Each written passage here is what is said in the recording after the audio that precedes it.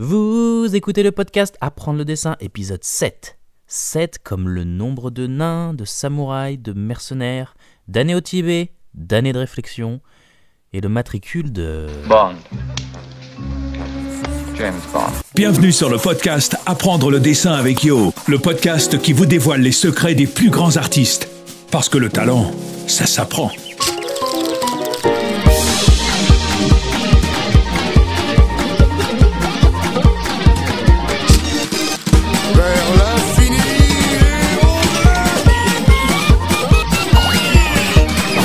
Bienvenue dans l'épisode 007 du podcast Apprendre le dessin, ici Yo, et nous y voilà, le mois de novembre, le mois le plus déprimant de l'année.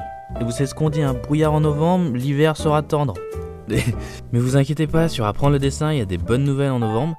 Déjà sur la chaîne YouTube, on va lancer une toute nouvelle série de vidéos hebdomadaires que vous pourrez retrouver tous les mercredis à 17h. Et euh, ça sera une vidéo sur des tips, des conseils en dessin qui vont durer 2 minutes chrono. Ça va s'appeler 2 minutes tips. Euh, J'ai mis vachement de temps à trouver le titre. En fait, c'est une série de vidéos inspirée de 2 Minute Tuesday du youtubeur canadien Peter McKinnon. Et je vous conseille absolument de regarder sa chaîne parce que c'est vraiment génial et c'est une grande source d'inspiration pour ma propre chaîne YouTube. Première vidéo, à mon avis, dans la deuxième moitié du mois de novembre. Et ensuite, ce sera une nouvelle vidéo chaque mercredi. Sinon, j'espère que vous avez bien géré le Inktober cette année. Euh, moi, j'ai regardé un petit peu ce que vous aviez mis sur le Yoktober et c'est vraiment génial. Je pense que je vais faire une vidéo là-dessus. Euh, si jamais vous n'avez pas fini, c'est pas grave. Euh, la prochaine fois, ça sera la bonne. Essayez de quand même dessiner tous les jours parce que le Inktober à la base, ça, sert à ça. C'est pour se faire naître une habitude. Donc n'hésite pas à, à continuer à dessiner le plus possible tous les jours. Et à ce propos, rate pas le prochain vlog, le vlog numéro 4 qui va raconter mon aventure du Inktober où j'ai fait le Inktober avec des amis de Illumination. Donc ça va sortir, euh, j'espère, au courant du début du mois de novembre, euh, avant le 15. Sinon, bah restez bien jusqu'à la fin de l'épisode. Je sais pas si vous vous rappelez, la dernière fois, on avait lancé un grand concours pour euh, euh, gagner un dessin original de Charlie Offroy, lié à son film Cal. Et donc le gagnant du dessin original sera annoncé à la toute fin de cet épisode.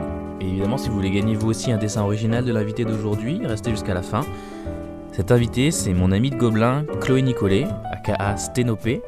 Chloé, elle bénéficie déjà d'une petite notoriété sur internet et je vais vous mettre tous les liens de Instagram et de son site euh, dans la description. C'est une illustratrice, une réalisatrice, une storyboardeuse. Dans ce podcast, on va parler de son parcours, de la place qu'elle s'est construite dans ce milieu. Puis on va d'ailleurs aborder des sujets d'un peu plus d'actualité, comme la place des femmes dans notre industrie. Et on va parler aussi de tous les divers médiums, de, de la variété en fait des styles qu'elle utilise pour exprimer son art. Je suis sûr que ça va trop vous plaire. On est parti, Sténopie est dans le podcast Apprendre le dessin. Salut Chloé Salut Johan, comment ça va? Bienvenue pour le podcast numéro 7 du podcast Apprendre le dessin. Merci d'avoir accepté de venir. Merci pour l'invitation. on se connaît bien parce qu'on a été dans la même promo au Gobelin. Ouais, Donc tu vas nous parler un peu de ton parcours et euh, on va commencer, comme chaque interview, par ton enfance. Où est-ce que... Et, et peut-être ton rapport au dessin. Est-ce que tu dessinais déjà quand, depuis tout petit? Ok, alors tout commence par une longue nuit de novembre. Tu naquis voilà, je naquais en plein novembre, le 24. Euh, non, qu'est-ce qu'on peut dire vis-à-vis du dessin? Euh, Je pense que j'ai toujours un peu dessiné. Tu sais, c'est toujours le truc des enfants où on sait pas exactement quand est-ce que ça a avec un commencé. crayon à la main C'est Exactement. l'expression Ouais.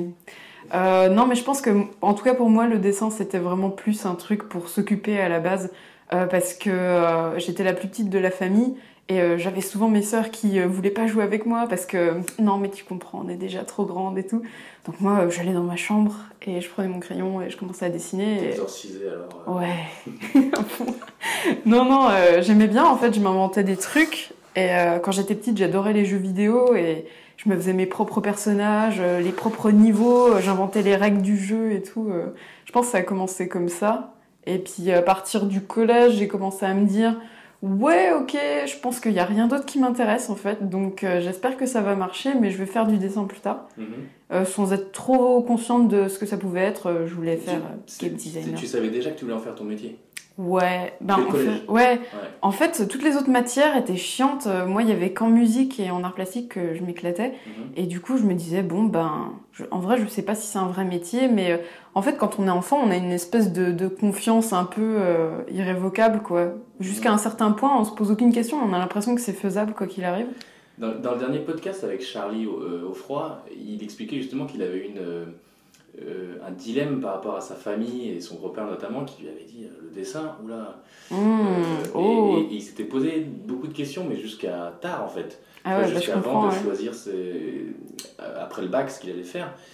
Et toi, du coup, t'as pas eu cette, ce dilemme de te dire bah, le dessin c'est quand même pas hyper sécure comme, comme boulot? Si, si, si. euh, Ah, ouais, ça a été dur, surtout que mes parents, euh, ils étaient pas du tout dans un truc artistique. Donc, il y a personne dans ma famille qui fait quoi que ce soit d'artistique. Et euh, ils étaient pas chauds du tout. Mhm. Et euh, ben, ils étaient un peu inquiets. Ils me disaient, bah non, euh, il faudrait un vrai métier. On n'est pas sûr que ça puisse se faire. Et euh, je pense que c'est surtout ma mère qui était réti- réticente et euh, elle voulait pas trop. Et quand j'ai commencé à être prise euh, d'abord en bac art appliqué pour mes années de lycée, elle a fait bon d'accord, ok, qu'elle a vu que je continuais à avoir des bonnes notes. Et en fait, en sortant du bac art appliqué, là j'ai passé les premiers concours. Et comme j'ai eu des concours euh, assez prestige, genre euh, Estienne et les Arts Déco de Strasbourg, du coup euh, ça l'a un peu convaincue. Mm. J'ai l'impression que c'était un peu euh, la brochure de l'école où c'était marqué regardez les débouchés. Et elle a fait bon d'accord. Donc elle, ça l'a convaincu, mais toi, t'as jamais douté. Non, mais euh, ouais, c'était vraiment euh, blind faith, comme Ouais. on pourrait dire. Euh, Je, Mm. Je me disais, bah, le dessin, j'aime bien ça, ça va probablement être ça que je ferai plus tard. Et tu savais comment t'allais euh, appliquer le dessin? C'est-à-dire que tu vois, on dit je veux faire du dessin plus tard et gagner ma vie, mais c'est un peu large en fait. Est-ce que tu savais vraiment comment t'allais concrétiser ça dans un métier? Euh, ben, au début, c'était vraiment euh, très straightforward. En fait, euh, j'aimais bien les jeux vidéo, donc je me disais, ah bah je vais faire les personnages des jeux vidéo ou les jeux en entier. Donc, euh, je cherchais un truc qui s'appelait game designer. Et quand je suis allée voir euh, la conseillère d'orientation et que j'ai demandé ça, elle était un peu genre, Hum, mais qu'est-ce que c'est? On connaît même pas quoi. Donc elle m'a dit oui, tu sais, tu pourrais être graphiste euh, ou illustratrice et tout. blablabla. Et euh, donc du coup, euh, j'ai commencé à regarder un peu ce qui pouvait se faire, mais avant le lycée, c'est vrai que je savais pas vraiment. C'était le dessin, mais notion très vague. Et euh, comme je suis allée en art appliqué, bah là c'est devenu très concret tout à coup, et ça m'a un peu rassurée de voir que ok, tu peux devenir architecte, tu peux devenir euh, euh, animateur, ou il y a plusieurs possibilités quoi. Et c'est au lycée que j'ai commencé à entendre parler du cinéma d'animation. Parce qu'avant, dans ma tête, les films d'animation étaient faits par un procédé un peu magique. Je savais pas vraiment. Les personnages y existaient quelque part. Voilà, c'est ça. Ouais, c'est genre, ouais, ok. Ouais, je. Et du coup, tu, ah, donc, euh, en sortant du lycée, direct, t'allais euh, à Estienne? C'est ça, Ok, ouais. cool. Et alors, euh, comment, en fait, comment t'as eu, t'as, été mise au courant de l'existence de cette école et pourquoi tu l'as choisi celle-là en particulier? Alors, euh, ben, du coup, euh, j'ai eu un dilemme en fait à la sortie du lycée parce que c'est trop cool. J'ai réussi à avoir plusieurs concours. Mhm. Parce qu'évidemment, j'ai tenté plein de trucs comme je savais pas du tout euh, comment me placer par rapport euh, aux autres participants, quoi. Euh, donc, euh, j'ai eu les Arts Déco de Strasbourg, euh, où c'est un truc en 5 ans. Et en fait, tu commences par un tronc commun de 2 ans et ensuite tu choisis ta spécialité. Mhm. Et, et du coup, je me disais, oh putain, c'est un peu chiant de faire une espèce de prépa de 2 ans avant de pouvoir faire le truc qui m'intéresse. Donc, quand j'ai su que j'avais aussi Estienne pour aller en DMA illustration, ça, c'est une formation en 2 ans et ça se veut un peu plus. Un peu moins arty, on va dire, c'est-à-dire un peu plus euh, intégré vers un vrai métier, peut-être un petit peu plus technique. Mhm. Et euh, je pense que aussi ça rassurait mes parents. Puis euh, Paris, Ouais. ça me faisait vachement rêver, donc. euh, Tu T'étais où en fait? J'ai j'ai oublié tout. Ah ouais, c'est vrai, ça. Ouais, j'ai pas du tout grandi à Paris en fait. Ouais. J'ai grandi dans l'est de la France, dans un tout petit village qui s'appelle Froide-Conche. Nice. Donc je suis officiellement une Froide-Conchienne. C'est super. C'est très bien. Donc voilà, c'est en Haute-Saône, qui est elle-même en Franche-Comté, qui Ouais. est dans l'est de la France. Donc euh, Donc, t'avais envie de monter à Paris? Ouais, tout à fait. Bah moi, c'était le gros rêve parce que comme j'ai grandi à la campagne, euh, l'inverse absolu de tout ce que je connaissais, c'était la grande ville. Mhm. Et en fait, au lycée, je suis déjà arrivée à Besançon, qui était une ville un peu plus grande, et euh, ça me plaisait vachement. Et je me disais, oh putain, l'indépendance et euh, la ville et toute la vie culturelle, c'est génial. Donc euh, Paris, quoi, après. Non, c'est cool. Alors, du coup, Estienne, c'était combien de temps? C'était deux ans. Deux ans. Et alors, euh, comment tu. Quelle expérience t'as eu là-bas en fait? Alors, j'espère qu'il n'y aura pas. Je sais pas, peut-être que mes profs écouteront ce podcast. euh. Eh, c'est pas grave. c'est comme ça, C'est hein, je vous le dis. Euh, non, en soi, euh, il y a eu du très très bon et du Mhm. très très mauvais, euh, mais forcément c'est mon expérience personnelle. En fait, quand je suis arrivée là-bas, ça a été un peu la douche froide parce que jusqu'à présent, depuis que je suis petite, j'ai toujours été la fille qui dessine et même par extension la fille qui dessine le mieux. Mhm. Et euh, du coup, euh, j'étais vachement sûre de moi et, euh, et j'avais toujours été la meilleure en tout, donc je voyais pas pourquoi ça pourrait mal se passer. Et quand je suis arrivée là-bas, je me suis rendu compte que, ah, non seulement la notion de ce qui fait un bon dessin n'est plus du tout celle que je pensais être. Mhm. Genre, pour moi, avant, un bon dessin, c'était juste un truc avec euh, euh, plein d'effets, euh, des lumières et des ombres, et un truc super chiadé techniquement, et je faisais du vieux manga dégueulasse. Et en fait, quand je suis arrivée à Estienne, ils étaient tous dans un délire super... euh, c'est un délire que j'appelle toujours le délire art déco, en fait. Mhm. C'est malheureux, Comment mais... C'est du dessin vachement alternatif où quelque part le beau et l'accident sont comment dire on, on fait presque du, du moche ou du naïf et c'est ça qui devient beau. Ah et ça peut être intéressant et euh, j'aime ça dans une certaine mesure mais euh, il y a un délire un peu beaux-arts tu vois de se dire genre euh, Euh, faites n'importe quoi et ce sera super tu vois. Et tu fais Hmm, ok mais comment on fait ça? Parce que moi euh, j'avais toujours essayé de faire un truc beau dans, dans, dans le sens classique du terme, mais je pensais que, que c'était ça qui marchait. Donc il a fallu un peu tout désapprendre Mhm. et faire ok, là il va falloir se cultiver, aller voir d'autres influences et tout. Donc euh, ça m'a vraiment permis de sortir de ma zone de confort, donc ça c'est cool, parce que sans ça je pense que j'aurais continué dans, dans l'espèce de manga basique euh, qui est pas vraiment recommandable. Mhm. Et euh, par contre, ça a été dur parce que je m'en suis pris un peu plein la tronche et euh, j'ai vachement douté de moi et euh, j'étais une des plus faibles, je pense, dans ma classe parce que mon style n'était pas vraiment plébiscité. Mhm. Et on était une petite classe de 12 personnes et je trouvais que malgré le peu de nombre d'élèves, euh, on sentait un peu des groupes quand même malgré tout et je me sentais un peu mise à l'écart. Donc ouais, c'était une expérience un peu mi-figue, mi-raisin. J'ai appris plein de trucs, j'ai kiffé l'école, mais euh, quand j'y repense, je me dis, putain, c'était quand même pas les meilleures années de ma vie. euh, J'ai Ah ouais. le sentiment d'être beaucoup, euh, beaucoup seule pendant les deux ans. Ok. Même rétrospectivement, tu te dis pas que, ça a pu t'aider te forger artistiquement aussi quand même? Si, carrément, je pense que ça m'a un peu... euh, ça m'a appris l'humilité. Ouais. ça, c'est sûr, ouais. Mais euh, en fait, moi, j'ai j'ai ce truc avec les écoles d'art où, d'un côté, ça m'a beaucoup, beaucoup appris. Et toute seule, j'aurais pas pu faire autant de progrès aussi vite. Donc, ça a été vraiment le coup de boost. Donc, euh, pour ça, je trouve euh, que c'est super. Et c'est le fait de fréquenter les autres élèves qui m'a beaucoup appris aussi, pas seulement les profs et les cours. Mhm. Euh, mais par contre, ça m'a mis un, un gros coup de barre euh, en travers de la tête, quoi. Euh, niveau confiance en soi, c'était c'était vraiment pas le top, quoi. Ça m'a fait beaucoup douter. Au bout d'un moment, t'en viens à te demander, mais c'est quoi qui est beau, c'est quoi qui est bien? Ouais. Attends, c'est quoi que j'aime en fait? Est-ce que est-ce que c'est ce style-là, ce style-là? Qu'est-ce que je vais dessiner? Comment je vais faire maintenant Mais il faut passer par là, non? Du coup. Bah, ouais. Ouais, C'est bon d'avoir un questionnement, c'est bon de se remettre en question parce que sinon on n'avance pas. Mais il faut pas que ça devienne un obstacle et il faut pas, bloque. euh, voilà, faut pas que ça bloque. quoi. Ouais. Et moi, clairement, c'est un truc que même maintenant, en fait, euh, je suis constamment à me demander, euh, avant de mettre mon crayon sur le papier, genre, Euh, attends, qu'est-ce que je vais faire, en fait? Ouais. Donc euh, ça, ouais, c'est un peu une bataille pénible. Mais ouais, Estienne, c'était bien, et surtout, ça m'a fait découvrir la sérigraphie. Et Mhm. je pense qu'on va en reparler un peu plus tard. Mhm. Et c'est vraiment une des grandes découvertes dans ma vie artistique. J'adore le- les prints et la si sérigraphie. veux. Euh, bah du coup, euh, je m'y suis remis récemment. Ouais. Euh, je suis allée voir des gens qui ont des ateliers à Paris et euh, où tu peux vraiment venir imprimer tes propres trucs. Et euh, il s'avère qu'il y en a pas mal en fait. Mhm. Et putain, c'est trop le kiff en fait. Le fait d'avoir les mains dans le cambouis et Mhm. de faire tout en- de manière traditionnelle, c'est pas juste t'attends ta feuille qui sort de l'imprimante. Là, c'est non, tu vas faire ton écran, tu prépares tes couleurs, tu mélanges tout, tu t'en mets partout. C'est trop trop bien. Et surtout, euh, ça te donne un rapport à l'image qui est pas du tout pareil et euh, c'est trop top. Du coup, euh, ben j'en mets en vente en fait sur un sur un, Ouais, une sur boutique en ligne. Ouais, ouais, ouais. C'est quoi c'est ta boutique C'est sur Etsy? Euh, c'est sur Ticktail. TikTok, Euh, ok. C'est assez pratique, ma foi. Ok. Ça marche. De toute façon, je mettrai tous tous les liens de tes blogs et de, de ce que tu as fait euh, dans la description Ouais, et de ta boutique. ça marche. Et euh, du coup, la sérigraphie, c'était un truc que tu avais découvert là-bas et que tu as un peu arrêté, j'imagine. Ouais. au Gobelin et tout. Et, et- et là, tu reviens. Pourquoi tu reviens en fait?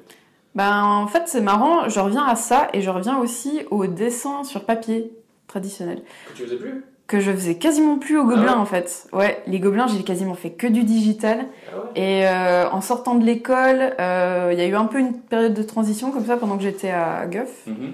Et euh, maintenant, je m'y remets à fond et j'ai acheté des, des pro marqueurs et, et des Posca et tout. Et c'est trop la fête. Je fais plein de dessins. Ok. Cool. Et alors, à la fin d'Estienne, comment ça se passe au niveau du diplôme? Ah, alors le diplôme, du coup, euh, à la fin des deux ans, tu es censé faire un projet de diplôme. Et moi, c'était un livre euh, que. En fait, j'ai choisi d'adapter la mécanique du cœur oui, oui, de Dionysos Ouais, ouais. et Mathias Malzieu. Et euh, à la base, c'était à la fois un roman Mhm, et un CD audio. mhm. Et à l'époque, j'étais super fan et j'adore tout ce qui a rapport avec la musique. Je trouve que ça demande vraiment à être illustré. En fait, c'est un- un- une grande source d'inspiration pour moi. Et euh, du coup, j'ai fait ça. Et euh, d'ailleurs, je l'ai montré à Mathias Malzieu parce qu'il fallait son autorisation pour pouvoir faire ce projet. Et il m'a dit qu'il a beaucoup aimé, c'était cool. Je lui ai donné un exemplaire quand je l'ai recroisé à Annecy, etc. Mm. Euh, et donc voilà, j'ai cravaché sur ce truc-là. Et bah, du coup, j'ai pas eu le temps de préparer comme il se doit mes concours pour l'après. Ce qui fait que je me suis retrouvée à la fin d'Estienne euh, avec euh, aucune possibilité. Je savais juste que je voulais pas arrêter les études parce que je me sentais pas prête. Et ce qui est chaud quand on est illustrateur, c'est que la plupart du temps, on bosse tout seul de chez soi. Et ça implique de se faire euh, vachement de réseau, de connaître des gens, euh, d'être rigoureux dans ses horaires, etc. Et euh, moi, je sais pas, j'avais 22 ans, un truc comme ça. Tu le sentais pas. Je me sentais pas du tout. Ouais. Ça me terrifiait en fait.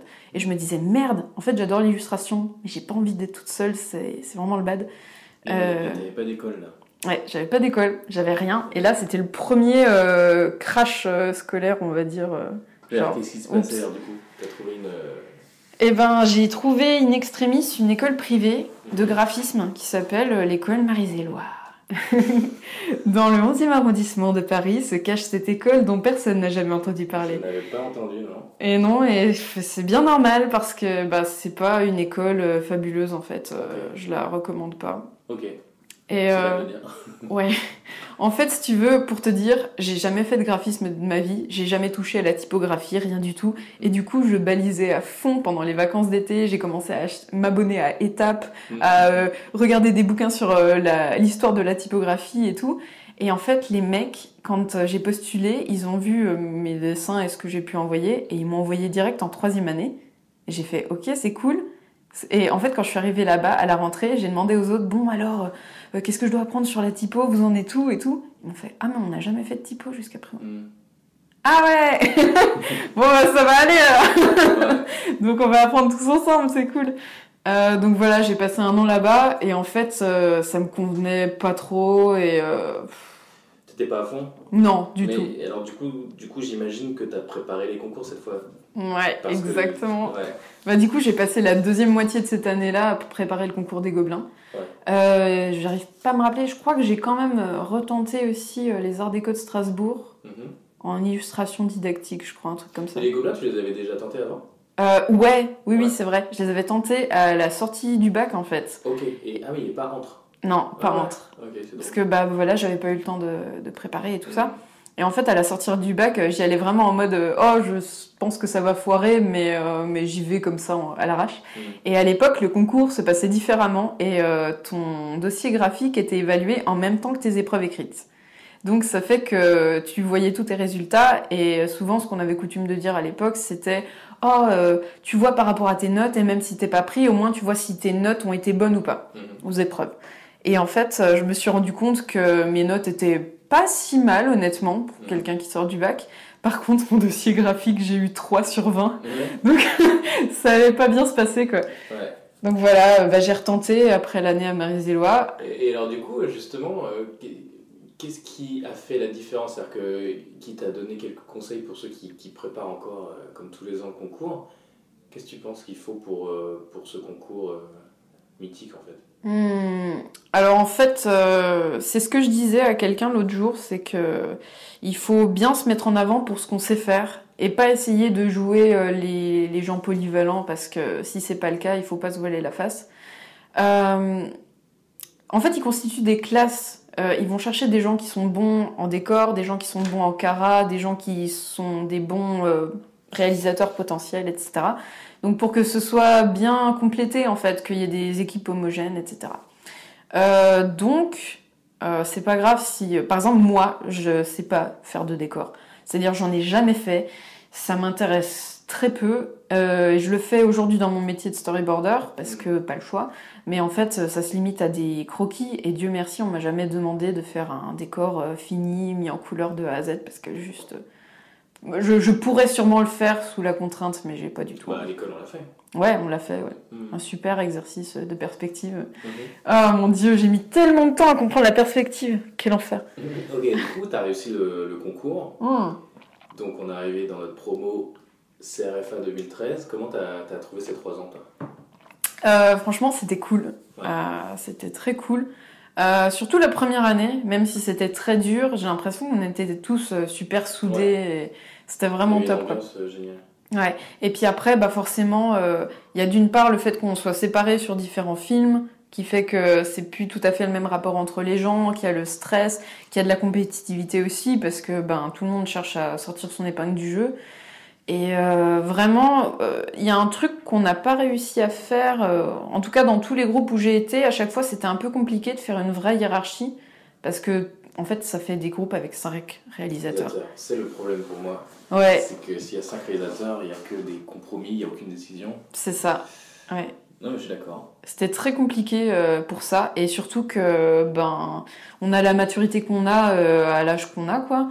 Et euh, en ce qui me concerne, ben c'était pas une période méga heureuse sur un plan personnel, donc ça fait que chaque fois qu'il y avait des situations un peu conflictuelles pour ne serait-ce que choisir le titre d'un film, en fait euh, je, je pétais des câbles, j'avais l'impression que tout était euh, super important et je laissais jamais rien passer. Et je pense que j'étais un sup. euh.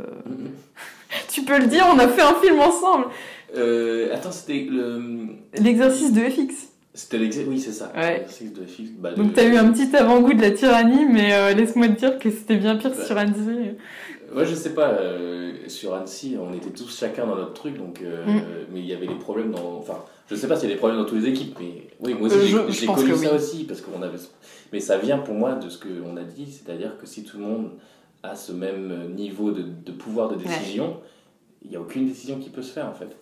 C'est ça. Donc ça, ça, bah, ça crée des conflits, je pense. C'est c'est- c'est fait pour... pour- enfin, et, les, et les meilleurs films, en général, euh, qui sortent des Gobelins, sont des films qui aussi euh, arrivent à se créer, enfin les équipes qui arrivent à se créer une, une hiérarchie, une, Mm. Une répartition des rôles euh, qui est claire. Ouais, c'est ça.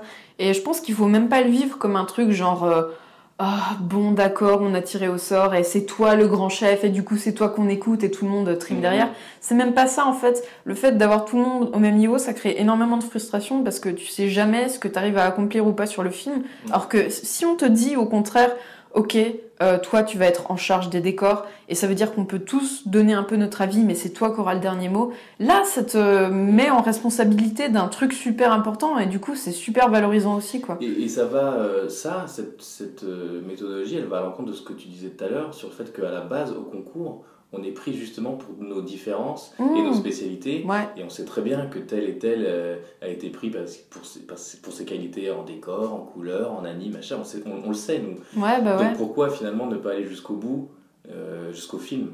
Bah ouais, ce serait l'aboutissement de ça, ce serait bien, mais euh, d'un autre côté, c'est pas bon non plus de catégoriser les gens parce que il y a des gens aussi qui ont une courbe d'évolution à travers les gobelins qui est super importante Mhm. et il y en a qui commencent euh, par avoir un intérêt pour l'animation et en fait ils se rendent compte que non, leur truc c'est complètement autre chose et ils vont être super bons en cara design donc euh, il y a des gens qui vont se révéler, qui vont changer euh, Ouais. de chemin, Et etc. Quoi. Les exercices servent à ça. Ouais. On touche à tout dans les exercices. C'est ça, ouais. Après pour le film, Même si, à mes yeux, il n'y a pas. Enfin, c'est clairement une école qui est orientée pour l'animation pure et dure. Parce qu'il y a énormément d'exercices d'animation. Euh, ouais, mais regarde, on a eu très peu d'exercices de storyboard alors que c'est méga important pour les films. vrai, ouais. Et on n'a pas de. Enfin, maintenant ils en ont apparemment, mais on n'avait pas d'exercice de scénar. Et ça, ça aurait été Ah génial. oui, oui, c'était un petit peu le problème. Ouais. On nous encourageait à faire des films en dehors des Gobelins aussi, en stage. Ouais. Et- Non On nous encourageait pas, au contraire. Vous nous encouragez pas? Ouais. Nous, on, euh, C'est la dernière année où on a réussi à faire ça. Enfin, non, l'année d'après, ils en ont fait. Et je crois qu'après, euh, l'école a dit bon, Ah ouais stop, on arrête. Parce qu'en fait, euh, ça crée une sorte de vide juridique autour des films. Parce que c'est des films faits en dehors de l'école. Mm. Donc, c'est pas des films de l'école. Ils peuvent pas vraiment les vendre en tant que tels. Mais quand tu fais un film dans une boîte, la plupart du temps, la boîte va pas le vendre non plus et l'emmener en festival parce que c'est pas un film commercial. C'est pas un film du studio. Mais c'était pris pour un stage. Donc, Ouais. donc c'était quand même une des meilleures expériences possibles aussi. Bah, moi je trouve, mais euh, on peut le voir sous un autre aspect qui est euh, les élèves se font entre guillemets un peu exploiter parce qu'à la fin t'as un studio qui colle Mm. euh, son nom dessus Ah alors oui. que le studio n'a rien fait sur la prod. Et parfois vrai. même ils prêtaient pas de matos, ce qui était le cas pour nous. On a fait un film en première année, euh, The Night We Were Kings, et Ah, C'était euh, en première année? ouais. Ah, vu. Ouais, ouais. On était cinq. Et euh, donc on est allé chez Cube pour le faire. Et en fait, euh, Cube, même si l'équipe était très gentille et que j'étais contente de faire le film, en fait on a dû louer les tables d'anime de l'école parce qu'on avait tout fait euh, en mode tradi. On Mhm. n'avait pas fait ça sur logiciel, Genre, quoi. loué, euh, vous avez payé? Non, on n'a pas payé, mais on a dû ramener nous-mêmes, à la force de nos bras, Ah, oui. les tablettes et le papier de l'école pré-perforé à l'école Ah, ouais, ouais, pour pouvoir bosser pendant les vacances. Et ils nous ont juste prêté une Mais oui, salle. parce qu'ils font pas d'anime en fait 2D. Bah oui, c'est ça, ouais. Oui. Finalement, il y avait que au Mon dieu, avait on aurait dû tellement faire ça directement à l'ordi. Quelle erreur Erreur Mais du coup, c'était pour le coup, c'était peut-être une meilleure expérience. Ouais. Ouais. Ah, moi, j'ai aucun regret là-dessus. Et en vrai, si c'était encore possible, ou même franchement, même si c'est plus possible, je crois que maintenant au Gobelin, il y a un truc genre si tu fais euh, deux fois deux semaines de stage, par exemple dans- pendant les petites vacances, bah, ça fait que tu peux avoir ton été euh, quasiment libre. Ouais. Faites des films, faites-les Faites tout seul dans votre Mais coin. oui. Oh, c'est le- la meilleure école, quoi. C'est ça, Je vais faire mettre un lien de ce film euh, dans la description, je l'aimais beaucoup. Et puis je vous avais un peu aidé, je crois. J'avais fait une, Oui. ou deux- j'avais fait une ou deux animes. Ouais, un cycle, ouais. Ouais, et bah je le mettrai dans la description ce film. Euh, Est-ce que tu te rappelles que notre promo, c'était la promo où il y avait pour la première fois une majorité de filles, mais à une près Ah oui, ouais, il me semblait que c'était un peu 50. euh, Parce que 50. après, les- la promo d'après, ou, ou la deuxième année au-dessus de nous, Ouais. il y avait euh, une grosse majorité de filles. Mais je crois que nous, c'était la première de l'histoire où il y avait une majorité de filles. Moi, je bosse à MacGuff et t'as bossé aussi. En anime, le nombre de filles animatrices par rapport aux hommes est très faible. Mm. Je t'en ai parlé avant l'interview, je voulais peut-être aborder avec toi ce sujet. Tu, tu penses quoi un petit peu de, ce, de la place euh, de la femme dans le milieu de l'animation? Euh, ben, c'est une grande question et euh, il y a eu plusieurs euh, retournements, on va dire, récents. Mm. Euh, parce que il y a un blog qui était sorti et qui s'appelait Paye, paye ton studio, paye. euh, C'était ça? Non, paye, paye ton quelque chose. Parce que, en fait, c'est un moment où il y a eu plein de Tumblr qui ont émergé et c'était genre. euh, ouais, paye ton policier, Ouais, paye ouais, ton truc. Et en fait, c'était dans tous les métiers, les abus sexistes qu'il y avait pu avoir. Et en fait, les gens sont tombés des nues quand ils ont vu ça parce que, apparemment, euh, personne n'arrivait à imaginer que dans le milieu des bisounours, qu'est l'animation, il puisse y avoir du sexisme. Alors que, ben, c'est comme partout, il y en a quoi. Parce que, ben, c'est des constructions qui sont trop ancrées et. euh, et le, le pire dans tout ça, c'est que la plupart du temps, je pense vraiment que c'est des gens qui se rendent pas compte et euh, qui disent ou font des, des choses sans vraiment euh, penser à mal, entre guillemets. Oui, oui. C'est juste en- enfin, il y a quelque chose qui est en eux en fait qui qu'on Mm. leur impose et dans, dans leur éducation et s'ils réfléchissent deux secondes en fait ils, ils vont retirer ce qu'ils qu'ils disent. Ouais, c'est ça. Et c'est même pas que des hommes. C'est-à-dire que le sexisme, c'est un système global et on baigne tous dedans. Et c'est comme, euh, par exemple, quelqu'un qui te dit Ah, mais moi, la pub, ça marche pas sur moi. On est tous soumis à, soumis à la publicité, euh, Mhm. donc on Oui, est tous ça. les mêmes. Et euh, les femmes sont souvent les plus sexistes d'entre toutes parce que s'il y a une nouvelle meuf qui entre dans la pièce, elles vont toute la jauger de haut en bas, voir comment elle est sapée et se dire Ah, putain, celle-là, euh, bon, ben. Je pense qu'elle bosse mal parce qu'elle prend trop soin de- d'elle. En fait, elle est en haut talon, elle a rien à faire dans un studio d'anime. Et euh, c'est malheureux à dire, mais même moi, ça m'est arrivé de penser ça. Il y avait euh, une, fille euh, sur un de mes tafs qui était super belle, super apprêtée, euh, toujours euh, des, des petits talons, une robe assortie, euh, les cheveux bien coiffés. Et je j'arrivais pas à me dire que qu'elle était un métier technique. Mhm. Et pourtant, elle était lighteuse. Ouais. Et c'est débile, tu vois. Genre, j'étais là, hein, c'est une meuf de l'accueil. C'est horrible de dire ça, c'est horrible de penser ça. Mais alors du coup pourquoi euh, pourquoi tu penses qu'il y a ce en tout cas, cette- il n'y a pas cette parité, quoi? Non, clairement. Alors qu'au Gobelin, bah, du coup, moi je l'ai vu en fait bah, à notre génération, je l'ai Mm. vu se faire, se créer, et, et là je la vois pas dans le milieu professionnel. Bah, c'est vrai qu'il y a une espèce de latence euh, un peu incompréhensible, mais je pense que là, dans les prochaines années, on va commencer à voir plus de femmes à des postes à responsabilité. C'est Mm. euh, en train de se passer, en fait. Euh, Il y a de plus en plus de projets qui émergent, et comme on est dans une période où les gens sont sensibles à ça, ça devient plus facile pour les femmes de, de traverser le plafond de verre et euh, d'être en charge de projets. D'ailleurs, le prochain projet sur lequel je vais travailler, il est co-réalisé par deux femmes, Maï Nguyen et, et Charlotte Cambon. Ah ouais? Ouais, c'est Les Culottés, l'adaptation de la bande dessinée de Pénélope Bagieux. Cool. Donc voilà, ça va commencer la semaine prochaine, j'ai hâte. Je vais faire du character design. Yes. Euh, Ah ouais, et t'as déjà fait du character design ou ça va être la première fois? Euh, j'en ai fait, j'en ai déjà fait un peu, ouais. Mais surtout sur des missions freelance pour des clients étrangers, pas trop en France en fait. Ok. Euh, Bah, Parle-nous un peu de tes missions freelance et de ce que t'as fait en dehors justement de- des gros studios. Ouais. Euh, ben. En fait, en gros, ma, ma carrière en deux mots, c'est j'ai commencé après les Gobelins euh, avec presque trois ans à MacGuff en tant que storyboarder. Direct à MacGuffin. Ouais, Ouais. sur le Sur film. Sing. Sur Sing. Nice. Yeah. Ça pour commencer, euh, sortie d'école, c'est quand même bien. Franchement, ouais, c'est cool. Et euh, ben, à mes yeux, c'est c'est le film le plus abouti qui a pu sortir de MacGuff. Et euh, le réalisateur est quelqu'un de vraiment adorable, Garth Jennings. Yes. Ouais, Ouais, super top. Et pareil, on avait une excellente équipe euh, de storyboarders, donc j'ai vraiment appris le storyboard là-bas. En fait, j'étais même surprise qu'ils me recrutent pour ça. Mhm. Et euh, ben, j'ai beaucoup appris, quoi. J'ai tout appris euh, grâce à eux. Euh, ensuite, je suis partie et je suis allée faire du storyboard pour Gumball chez Cartoon Network. Ouais. Et en fait, j'ai travaillé depuis chez moi, donc c'est là que commence le freelance. Ouais. Et du coup, euh, c'était encore une autre expérience parce que bosser tout seul chez soi, bah, c'est exactement ce que je redoutais en fait avec le métier d'illustrateur, c'est-à-dire être tout seul face à ton bureau tous les jours.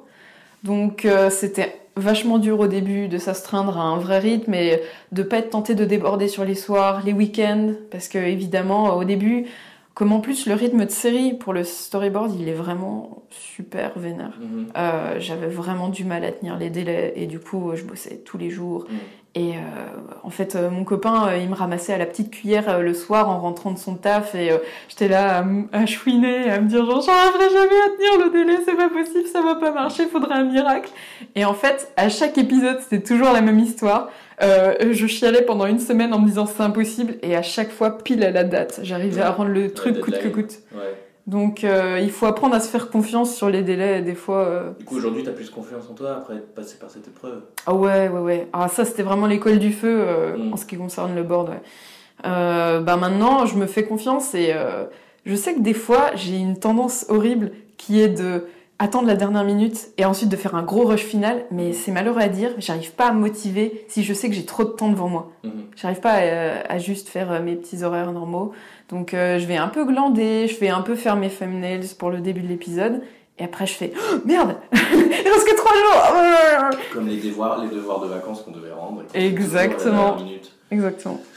Euh, en plus euh, de tous ces boulots freelance, t'as bossé du coup dans des studios comme Xilam, Ouais. Pills, et tu faisais du storyboard là-bas aussi. Ouais, tout à fait. Moi, je fais principalement du storyboard. C'est toujours un peu ce truc de quand tu commences un métier, euh, T'es étiqueté voilà, t'es Ouais. étiqueté storyboarder. Bah, ce qui est pas forcément un problème. hein. J'aime le storyboard et, et c'est cool. Et euh, mais c'est juste que à la base, quand je sortais de l'école, moi, je, je voulais faire du character design en Mhm. fait. Ouais. Et euh, j'étais trop deg parce que j'avais montré mon book euh, toute tremblotante euh, à la recruteuse de chez Disney en lui demandant alors qu'est-ce que vous en pensez? Et dans mon book, il y avait, je sais pas, euh, 23 pages de character design et deux pages de board. Et elle regarde tout comme ça, elle fait Hmm, yes, yes. Et oh, alors vous, vous, votre truc c'est vraiment le storyboard, hein, c'est ça? J'étais là, Ah, non, pas du tout. Mais je pense qu'en en vérité, elle a bien sûr repéré un truc que moi-même j'avais pas Ouais. vu parce que euh, ça m'importe trop la narration et le sens derrière ce qu'on dessine. Euh, et juste faire des personnages pour qu'ils soient beaux ou mignons ou marrants ou peu importe, c'est trop réducteur pour moi et j'ai vraiment besoin de bosser au contact de l'histoire et faire un truc qui a du sens quoi. Même quand tu dessines un personnage euh, du coup en, mode character design, c'est-à-dire que tu le dessines Mm. juste en pied, tu essayes de raconter quelque chose. Ah ouais, Mm. il faut penser à qui est ce perso, quelle est son histoire, sa personnalité, et c'est ça qui fait que c'est passionnant en fait. Je pense que c'est un truc que tu peux intégrer dans tous les métiers que tu fais, Mhm. pas forcément relié à l'animation, c'est vraiment... euh, ouais, essayer de donner une personnalité, même toi tu le fais dans l'animation en fait, c'est... Mm. euh, un personnage se passe la main dans les cheveux, il y a mille façons de le faire en fait. Et euh, c'est à toi de trouver la bonne façon qui correspond au, à ton personnage quoi. Dans ce désir de, de raconter des histoires, euh, tu as participé aux 24 heures de la BD ouais. C'était intense. Ouais. Euh, ouais, c'est donc les 24 heures de la BD euh, pour rappel, c'est ben comme le dit le titre, c'est 24 heures pour faire une bande dessinée si possible de 24 pages Mhm. si tu arrives à les tenir. Et donc chaque année t'as un thème et euh, le thème de cette année, c'était un dialogue entre trois personnages et je me disais ah c'est cool parce que ça ressemble au storyboard et en plus c'est assez facile, c'est pas une contrainte à la con genre euh, ouais, ça se passe dans l'espace ou je sais pas quoi. Bref. Donc voilà, je me suis dit allons-y. Mais ils ont fait ah ah ah minutes, toutes les 8 heures, on va mettre une contrainte supplémentaire. Donc tenez-vous prêts. Et euh, je sais plus, la première contrainte c'était euh, donc euh, personnages A et B euh, se parlent, puis euh, au bout de 8 heures il disait euh, personnage C euh, intervient et doit faire un truc comme ça. Et Enfin bon, il y avait des, espèces de contraintes dans les dialogues en fait où il disait tel et tel personnage doit inter- interagir et tout, et le troisième personnage doit conclure l'histoire entre guillemets. Et au début j'ai essayé de respecter ça, et une fois que tu as posé tout ton storyboard et que tu es prêt à ancrer et que tu te dis oh non la nouvelle contrainte vient de tomber et ça correspond pas à ce que je voulais faire, du coup tu fais fuck it et euh, bon bah du coup je l'ai fait quand du même. coup, quoi. ça faisait quoi? Ça faisait trois contraintes? Ouais, trois contraintes. 24 heures? Ouais. Ok. Et ta, ta BD, elle est dispo du coup? Ou Sur en ligne, on peut la voir? Euh, ouais, on peut la retrouver euh, planquée au fin fond de, de mon Tumblr. Eh ben, je la retrouverai. Ouais. je la mettrai dans la description. Super. Euh, je sais pas ouais si c'est. Du coup, je la, sais BD, pas. la, la BD, c'est un truc qui, du coup, qui, qui tenterait aussi alors? Ouais, carrément. Ouais. Mm. Est-ce que tu vois ça comme justement une évolution un peu euh, du storyboard Ouais. Ben, on a tendance à dire que le storyboard et la bande dessinée c'est deux trucs très différents et qu'il faut surtout pas euh, confondre nanana. Et en fait, ça m'énerve un peu quand on dit ça parce qu'il y a plein de ponts entre les deux et ce serait dommage de pas voir euh, les similitudes entre ces deux médiums. En fait, t'as la contrainte de la page d'un côté et t'as la contrainte de la taille de l'écran de l'autre. Euh, mais au final, c'est le même taf. C'est, tu Mhm. dois choisir quels sont les moments qui vont illustrer l'action parce que tu peux pas te permettre de faire un milliard de dessins, que ce soit dans une BD ou un storyboard. Donc faut aller à l'essentiel. Il faut que tout soit compréhensible et que chaque endroit où tu poses ta caméra raconte quelque chose. Mhm. C'est jamais gratuit en fait. La, la- la différence principale, ce serait peut-être justement dans cette notion de, de cadre et de composition où tu dois à la fois composer une page entière Mm. avec plusieurs cases et là où tu es limité par un seul format euh, au cinéma, 16 neuvième, là tu, euh, tu peux varier en fait ton cadre aussi. Ouais. Mais euh, la BD, en fait, j'aime bien parce que ça offre plein de, de possibilités que qu'il n'y a pas dans le film. C'est que on a l'image du gaufrier traditionnel dans la BD franco-belge où juste t'as des cases régulières comme ça. Mais qu'est-ce que ça fait si tu mets une seule grande case sur ta page ou, ou pas de case du tout en fait et que t'as juste les personnages qui se baladent dans l'espace? Qu'est-ce que ça raconte? Mhm. et euh, j'adore la bande dessinée, j'en achète constamment, j'en lis constamment et je suis super friande de romans graphiques. Et de Ouais. plus en plus, curieusement, je reviens au manga. Ouais. Mais pas les mangas euh, Naruto et compagnie, quoique Naruto respect, c'était vraiment bien. Mais euh, non, euh, plutôt du manga indépendant en fait, qui commence à ressembler à ce qu'on fait en roman graphique euh, Mhm. dans le monde occidental. Est-ce que tu peux nous citer des, des, des- des titres? Ouais, et je dirais que les éditions du Lézard Noir, euh, big up les gars, euh, ils sortent vraiment les meilleurs trucs en ce moment. Et euh, il y a des BD tels que Shizakobe, ou récemment on a lu un truc incroyable sur juste un, un vieux et son chat qui était Mhm. trop dingue. Je te redonnerai les liens parce que là, les titres et tout, je les ai plus.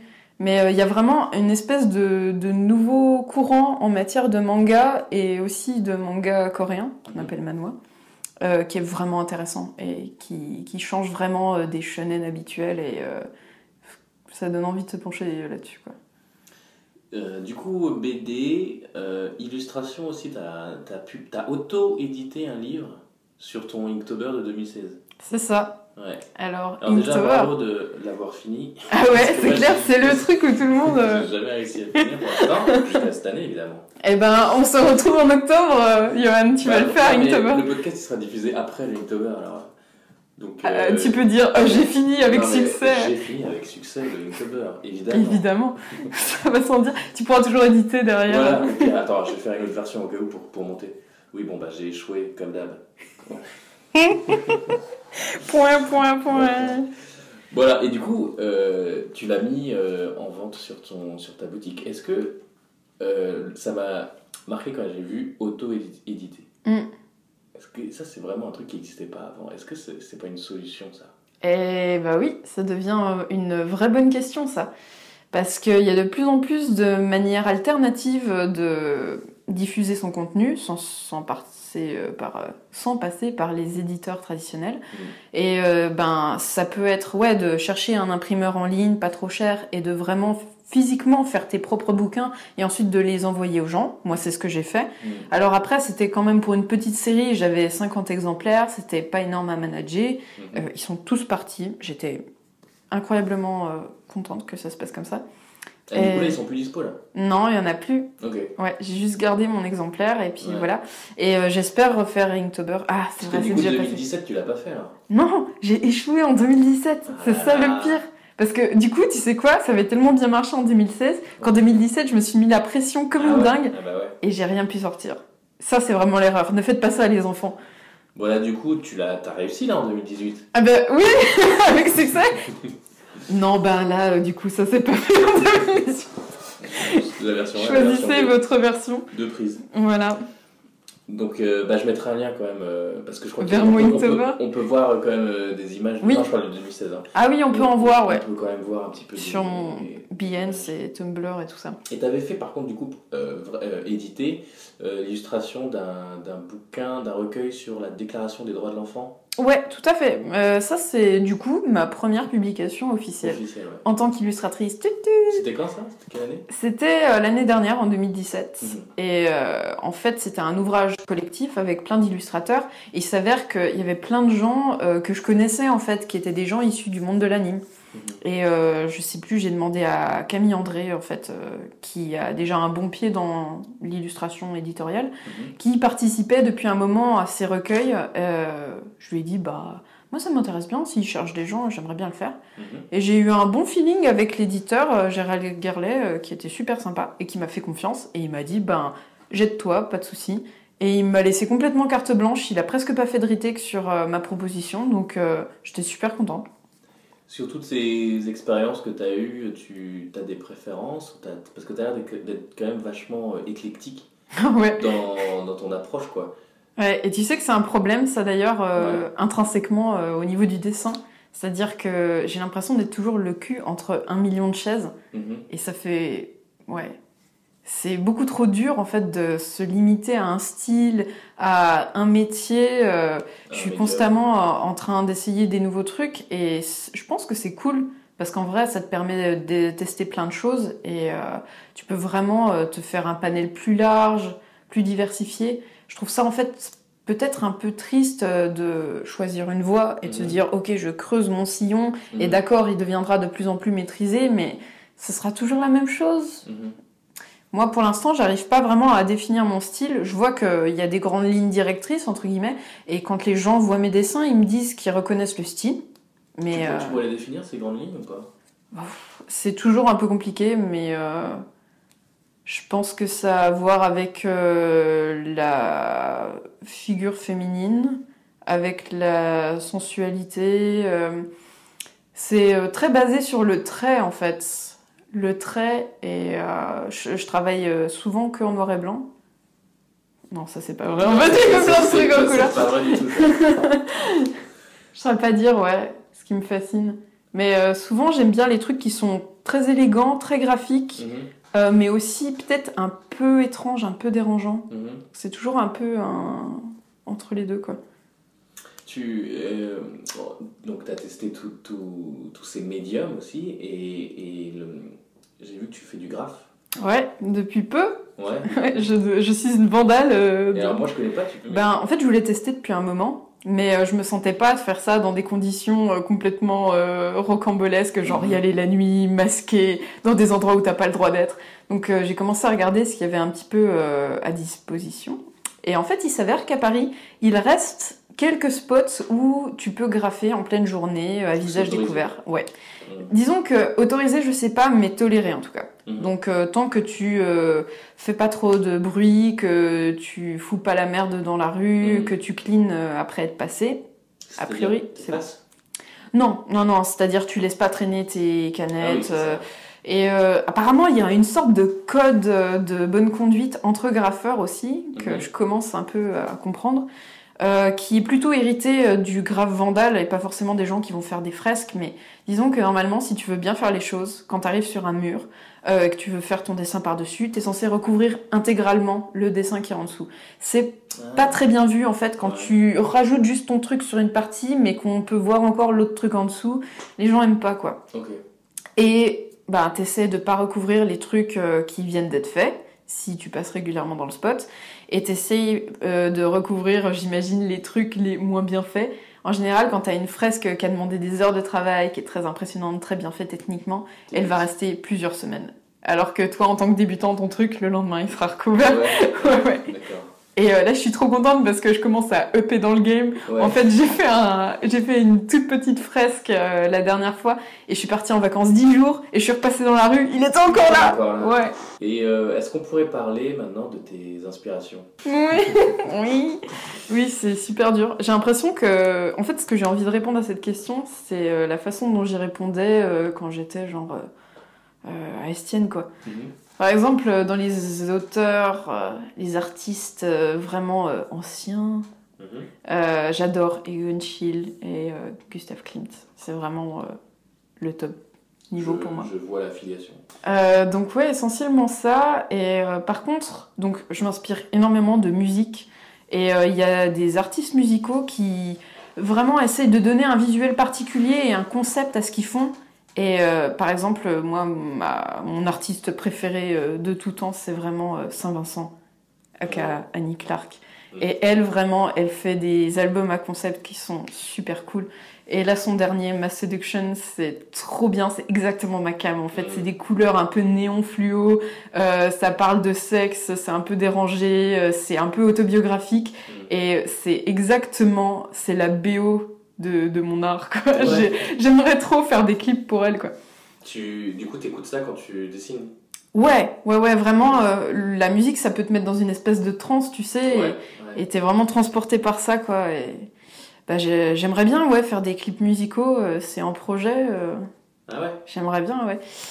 Et, et d'autres artistes musicaux encore? Qui je pourrais citer? J'adore Johanna Newsom. Ouais. Et c'est très spécifique. C'est une meuf qui joue de la harpe et qui a une façon de chanter qui est complètement atypique. euh, bon, on pourrait dire de manière un peu facile que c'est un peu comme ce que fait Björk, quoi. C'est-à-dire que c'est pas chanter pour être jolie, c'est chanter pour euh, comme un instrument en fait. Et euh, ça c'est vraiment top. Et euh, je m'identifie beaucoup à ça. Sinon, ouais. Ciné, littérature, cinéma, à mon réalisateur préféré, qu'on cite trop peu, vas-y. c'est Paolo Sorrentino. Ah ouais? Ouais, tu connais ou pas? Bah, Je connais euh, de nom parce que j'ai jamais vu ses films, mais euh, c'est devrais. hein, C'est vrai qu'on le cite jamais. Ouais. Ouais, ouais j'a- j'adore. Et y a vraiment un truc, euh, Donne-moi envie de voir ces films? Et ben, en fait, dans ces films qui ont l'air très sérieux et réalistes en apparence, de temps en temps, il y a des petits moments dans le film où tu sais plus si c'est la réalité ou si c'est le personnage qui s'invente des trucs. Mm. Et c'est tourné de manière tellement subtile, la plupart du temps sans dialogue, sans mots. Euh, c'est renversant en fait euh, de poésie et c'est complètement inattendu et j'adore ce bouleversement en fait.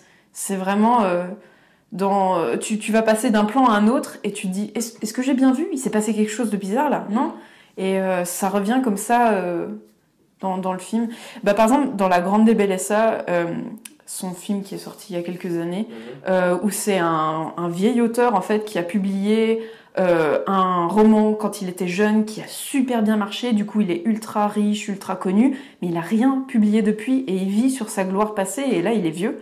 Et en fait, euh, le film, on le suit lui en train de se balader dans Rome et euh, de passer de personnage en personnage, d'amis qu'il connaît, de situations bizarres où il se retrouve dans des grosses fêtes ultra chic et la minute d'après il va aller se fumer une clope dans, un temple antique en ruine. C'est vraiment... Et il va voir un de ses anciens amis et euh, il le retrouve dans des ruines comme ça et euh, il y a une girafe au milieu des ruines avec euh, des, des spots qui éclairent la girafe. Et il est là, mais ok, c'est- quoi cette girafe? Qu'est-ce qui se passe? Et il fait, l'autre lui répond, ah c'est mon dernier tour de magie, je fais disparaître la girafe, tu veux voir? Et l'autre il lui dit, oh, je serais curieuse de voir ça, ouais, ça, ça a l'air vraiment dingue. Et ils se parlent un peu comme ça d'un truc qui a rien à voir. Et notre personnage principal s'en va. Et euh, à la fin, il se retourne une dernière fois et la girafe a disparu. Et l'autre lui sourit juste. Et tu sais pas ce qui s'est passé? Est-ce qu'il y avait une girafe de base? Est-ce que c'était un rêve? C'est un tour de magie. C'est euh, juste, c'est. Ouais, faut que tu vois. Oui, je vois, c'est l'absurdité de la situation qui vient actuellement en fait euh, Mm. faire disruption dans la réalité. Quoi. Ouais. Est-ce que tu l'as vu? Alors, Il faut que je retrouve le nom là, mais il est sorti il y a quelques mois le film. Je crois que c'est Under the Water, quelque chose comme ça. Ah, Under Silver Lake Under Silver Lake. Ouais. Tu l'as vu? Ouais, ouais, il y a vraiment une vibe comme ça aussi, j'ai bien aimé. Ah ouais, ouais, j'ai adoré ce film aussi. Mm. Mais euh, peut-être en- encore plus perché que ce que tu racontes.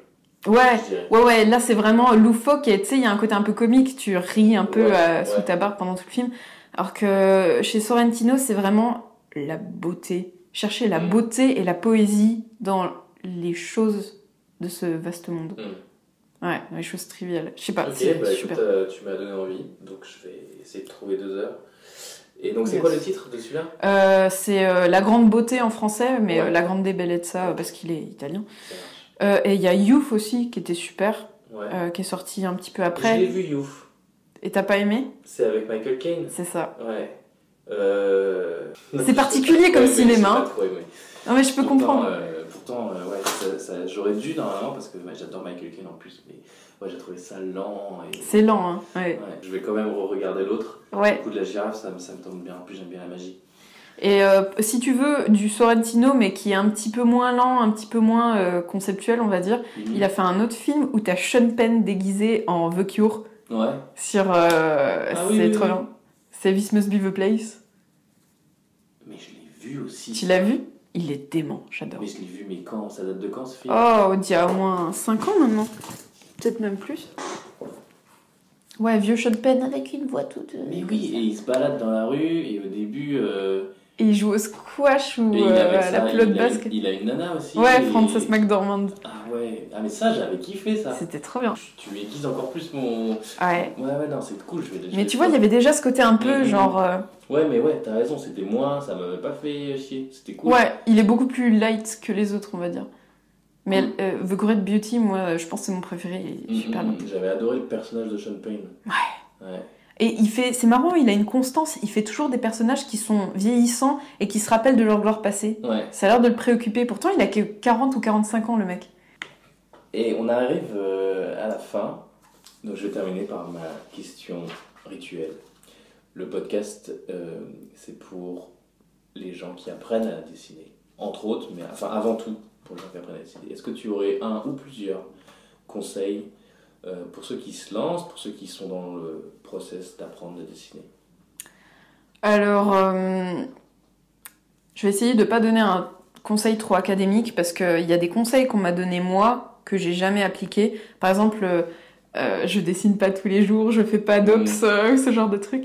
Tu fais quoi? De dessin d'ops. Ah oui, d'accord. Ah ouais. Ben, en fait, ça me barbe un peu. Encore quand c'est pour dessiner des gens, ça va, mais dessiner des décors, encore une fois, Ouais. je ne le fais pas. Euh, non, mon conseil, ce serait euh, trouve ce qui te plaît et vraiment explore le filon. Et euh, le dessin, c'est pas forcément faire plaisir aux autres ou acquérir des compétences qui vont faire que t'entres dans une école. Le dessin, c'est avant tout un moyen d'expression de toi. Et qu'est-ce qui te soulage Qu'est-ce que t'as besoin de représenter en fait dans ton dessin? Qu'est-ce qui te fait du bien en fait? Même si tout le monde trouve que c'est nul, au final, je pense que c'est plus important que toi, tu, tu te sentes bien et tu sois satisfait de ce que tu fais plutôt que ah ouais, je déteste dessiner, mais c'est bon, je suis dans la grande école. Parce que des fois, c'est l'impression que j'ai euh, Hmm. vis-à-vis de, de mon taf. quoi. C'est dur de retrouver la joie du dessin. Le plaisir. Ouais. Hmm. Ça, ça se rapproche du, de ce que Charlie avait dit aussi. euh, le mois dernier. Euh, dès que tu peux trouver du plaisir, je me rappelle quand je passais mon bac, j'ai même réussi à trouver du plaisir à faire des équations, mais tellement j'en faisais, et, tu, et, et c'est là que tu, ça marche. Ouais, exactement. C'est ça. Tu mets le doigt sur un truc très important, c'est que ça paraît limite magique, mais si toi, t'as trop de fun à faire un truc et que tu le fais vraiment de bon cœur, ça va se ressentir dans tes dessins. Et les gens vont être vachement plus convaincus. Et ça se vérifie dans tout ce que je dessine. Les trucs où c'est complètement laborieux, où j'ai essayé mille fois de faire un truc et que j'ai essayé de fitter un, un moule, eh ben les gens sont là genre ouais ok c'est joli. Ouais. Et des fois je vais faire juste un, un croquis à l'arrache qui vient du cœur quoi. Et les gens vont être là oh, mais c'est dingue ça c'est trop bien et tout. Tu fais Et d'ailleurs, ah, tu, vas, tu vas nous faire un petit croquis à l'arrache pour, euh, Mais oui. pour les auditeurs. tout à fait. on, va, en parler tout de suite après. Merci Chloé. Merci à super toi. intéressant. Je pense que ça a apporté beaucoup euh, aux gens euh, qui savent pas trop quoi faire, qui vont. Enfin, toutes tes, tes expériences, euh, je pense que ça, ça va inspirer en fait beaucoup de gens à, à explorer eux-mêmes euh, leur art.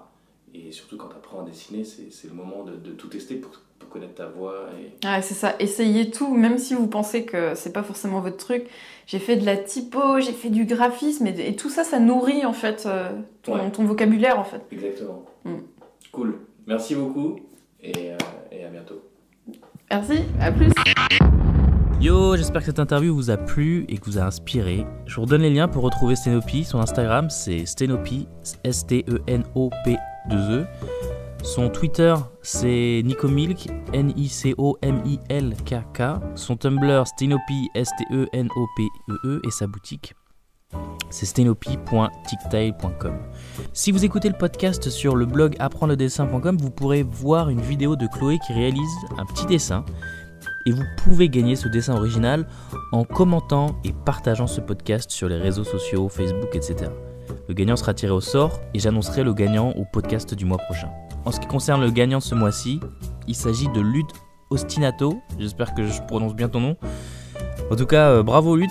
T'as gagné le dessin original de Charlie Offroy que tu vas recevoir par la poste euh, très prochainement.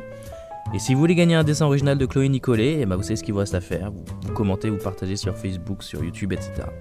D'ici là, je vous donne rendez-vous le mois prochain pour un nouveau podcast extraordinaire. Ciao Mais de la variété euh, des supports qu'elle utilise pour ce... Putain... Allô, oui? Allô? Oui, c'est moi. Oui, mais je suis en train de travailler, j'ai pas beaucoup de temps, c'est important? C'est pour ma box SFR Voilà, je veux bien. Mhm. Ouais. Euh, je regarde jamais la télé.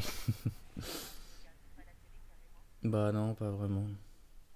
Euh, le seul truc que je pourrais regarder cette année, c'est quand il va y avoir Game of Thrones euh, sur, euh, je sais plus les, je sais plus où est-ce que c'est, c'est pas sur OCS. euh, C'est sur le bouquet cinéma ou série? Ça, à la rigueur, ça pourrait m'intéresser. Ok, d'accord. Bah du coup, ça, ça m'intéresserait. Ouais. Merci beaucoup. Vous aussi. Au revoir. Merci d'avoir écouté le podcast Apprendre le dessin avec Yo du blog apprendre-le-dessin.com. That's all, folks.